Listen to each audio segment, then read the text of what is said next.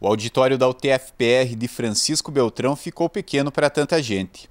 Alunos, técnicos administrativos e professores disputaram uma vaga para acompanhar o debate entre os candidatos do campus da universidade, ocorrido nesta quarta-feira à noite.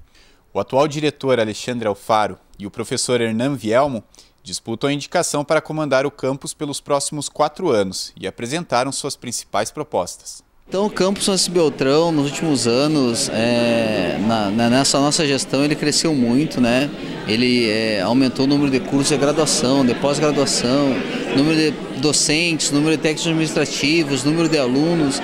E a nossa grande proposta é permanecer nesse, nesse, nesse foco, né? Aumentar a sua interação com a sociedade, poder estar presente com a sociedade, desenvolvendo projetos de interesse da comunidade, eu acho que se eu fosse frisar como uma meta principal do campus, é os novos três cursos, que vocês sabem que nós estamos no pleito aí há muito tempo, né, alguns anos já, é, já fizemos a definição desse curso, chancelamos com a, com a, sociedade, né, com a comunidade de Francisco Beltrão.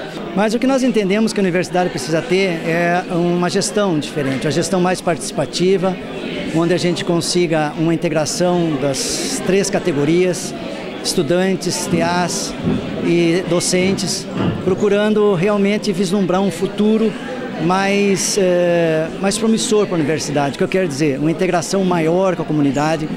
Hoje nós estamos muito restritos a, ao nosso meio, ao nosso, ao, aos nossos muros, como a gente diz, e nós precisamos sair. Né? Precisamos divulgar a universidade, aproximar a comunidade da universidade. Atualmente, o campus da UTF-PR de Francisco Beltrão possui quatro cursos de graduação nas áreas de engenharia e licenciatura, além de dois mestrados. São cerca de 850 alunos e 150 servidores no campus, que funciona em uma área na linha Santa Bárbara. Durante o debate entre os candidatos, organizado pela comunidade acadêmica e transmitido online, as condições de acesso ao campus, a melhoria da infraestrutura, a grande evasão de alunos e o orçamento foram temas recorrentes. A escolha do novo diretor do campus acontece no próximo dia 12 e será feita através de uma consulta popular e não eleição. Os servidores representam 80% dos votos e os alunos 20%. O candidato que obtiver a maioria dos votos é indicado para o conselho universitário, que deve chancelar a escolha. No entanto, mudanças no processo eleitoral que visam ampliar a participação dos estudantes na consulta e a igualdade de gênero nas chapas estão entre as demandas dos acadêmicos.